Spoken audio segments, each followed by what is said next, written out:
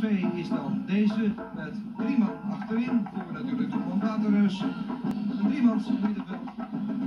Nilis als schaduwspits achter Ronaldo. En Hoekstra en Zende de beide vleugelspitsen. Van Hanegem heeft Feyenoord op twee plaatsen gewijzigd na de 5-1 nederlaag tegen Twente. Trustvul is eruit, Heus is terug. Witsche is weer terug in de formatie. En dat gaat ten koste van Van Bronckhorst. Feyenoord dan vandaag over het veld. Vier man achterin. Scholten, Bos en Witsche, het vertrouwde trio op het midden. Tament, Lasson, Blinker voorin. Numan, die tegenspel krijgt van Scholten. Zoals er toch veel koppeltjes dus zijn vandaag. Linskens. Opening is goed, maar het is ook buiten spel toch van Numan. Het net werd in beweging gebracht door Numan, maar vanuit buitenspelpositie. Misschien makkelijk omhoog. En de vlag ook.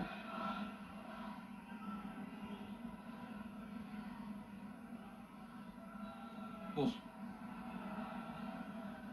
Tament bleef achter Promejon verscholen. Valks.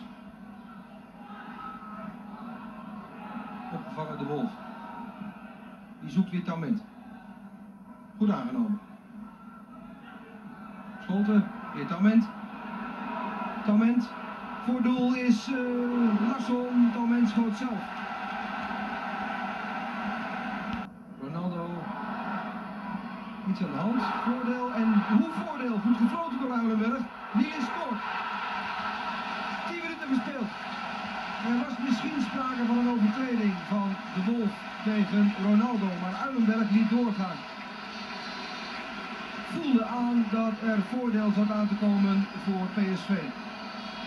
Heel goed gezien dus van Uilenberg en goed gezien ook van Niels die het gat indook. En vervolgens het geduld had om te wachten tot de bal voor de voet kwam. Feyenoord aangeslagen. En PSV kan hier de genade want er wordt geen buitenspel gegeven voor Ronaldo. Maar zijn bewegingen zijn te ingewikkeld. En dat zegt Uilenberg, het is een penalty. Hij krijgt de groei vervolgens de gele kaart. Ronaldo had het zichzelf een stuk makkelijker kunnen maken door de bal te spelen op zenden. Maar ging voor het eigen succes. En dat kan alsnog komen van de strafschopstip. Weer Linskens die aan de voorbereiding staat. Aan de wieg van deze kans. Ronaldo maakt het zichzelf dan erg moeilijk. En valt inderdaad over het been van de groei. Hij ging makkelijk liggen, de Braziliaan. Maar ik denk dat de beslissing van Uilenberg toch niet aanvechtbaar is. En nu kan Ronaldo hier zelf het vonnis voltrekken. En doet dat.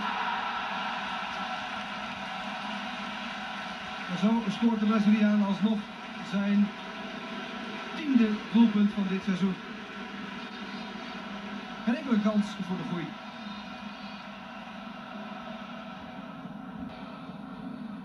Het getrommel te horen hier in Eindhoven heeft eh, Ronaldo wel wat vriendjes meegenomen. Dit is goed. Tament vastgehouden door. En wat krijgt Promayon? Geel of rood? Rood. Ja, daar zie uh, ik de logica wel van in. Ik vind dat Oudenberg gelijk heeft. Tament op snelheid was uh, los van Promayon, kon zo schuin het penaltygebied insteken. Er stond Blinker nog voor het doel vrij. Dus was hier sprake van een doorgebroken speler. Moment heeft nu te maken met Numan die als linksback gaat spelen. Zende, de linkerspits, is teruggezakt naar het middenveld en zo heeft PSV de zaken organisatorisch weer op orde. Blinker. Goed gedaan van Blinker. Het zou een ideale bal zijn geweest voor Van Loen, maar die zit op de reservebank. Larsson is een kop kleiner en komt er net niet bij rond tussen de grote mannen alsof hij er al jaren bij hoort. Blinken. Larsson, goal, 2-1.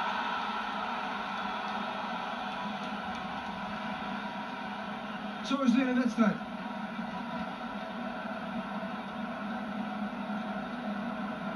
Weer een inzwinger van Regie Blinken.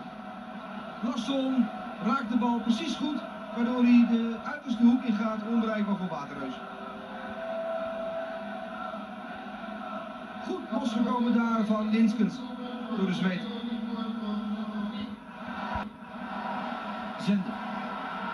Zenden, alleen, ga door joh. Zenden, maak het zelf af. Dat doet hij niet. De groei. Zo zijn er weer twee momenten van PSV.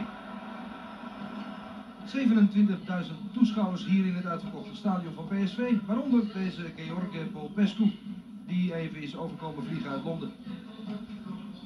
Kees Rijvers heeft uh, in de kleedkamer één wijziging aangebracht in het elftal van PSV.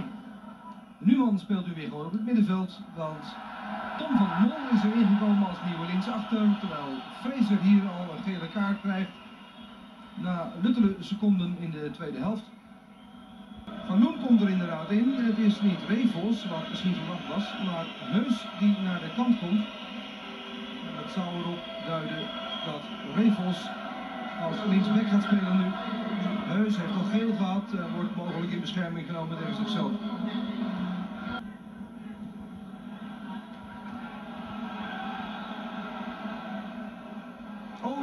Daar ga je het schip in. En dankjewel, zegt Arthur Numan. Kolossale fout van John de Wolf. En niemand die hem dat hoeft te vertellen, want hij begrijpt dat als geen ander. Eerst was er die paas van uh, de Wolf. De Fraser die niet helemaal secuur was. Hij kon dit zelf nog corrigeren, maar liet dat na. Geeft de bal zomaar aan Numan. En die scoort en zet PSV op 3-1. En de zaak lijkt nu echt beklonken. Geloof er niet meer in. Advocaat zal straks de nieuwe trainer worden van PSV, maar hij is de koning van Eindhoven na vanavond. En kan op 4-1 worden ook. Ronaldo doet dat. Die Rijvers, die kan hier niet meer stuk. En ook Ronaldo, die zo bekritiseerd werd door Rijvers, nog ook afgelopen week weer. Ook Ronaldo kan hier een potje breken. De team van PSV trekken hier, voor zover het nog niet vaststond, de wedstrijd helemaal naar zich toe tegen het elftal uit Rotterdam. 4-1 door Ronaldo. Met 11 man kwam PSV op 2-0. En met 10 man liep het uiteindelijk nog uit naar een verschil van drie treffers. En door